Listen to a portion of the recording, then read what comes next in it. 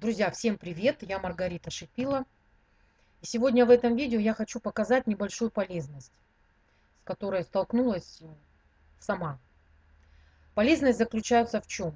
Иногда, когда открываешь посмотреть какое-то видео, то выскакивает вот такое оповещение, что необходимо установить новый а, флеш-плеер. Такое оповещение еще может выскакивать, когда просматриваем вебинары. То есть заходишь в вебинарную комнату и ничего там не видишь стоит тоже вот такая вот оповещалка и все. Что можно сделать? Можно пойти в настройки далеко там в компьютер, в какие-нибудь э, свои вкладки и там что-то где-то настраивать.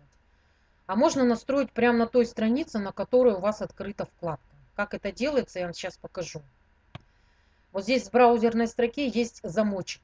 На любой странице, на которой вы открываете э, вкладку и у вас есть оповещение, вы просто нажимаете на вот этот замочек у вас открывается вот такая вот штучка.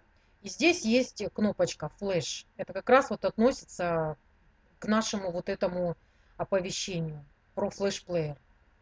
И здесь написано, что блокировать. Вот именно потому, потому что написано, что блокировать, у нас ничего здесь не, не происходит. Вам просто нужно переключить на разрешить. Переключили и просто кликнули где-нибудь сбоку у вас открывается вот такая штука перезагрузить.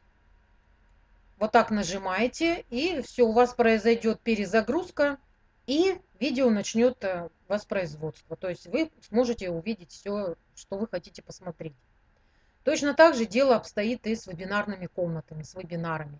То есть нажимаете на перезагрузку, вот здесь синяя кнопка перезагрузить, и у вас страница перезагружается, и все открывается и работает так, как надо. Если вам было это полезно, ставьте лайк, пишите свои комментарии, если у вас есть э, какие-то еще дополнения к этому видео. С вами была Маргарита Шипила. Всем пока!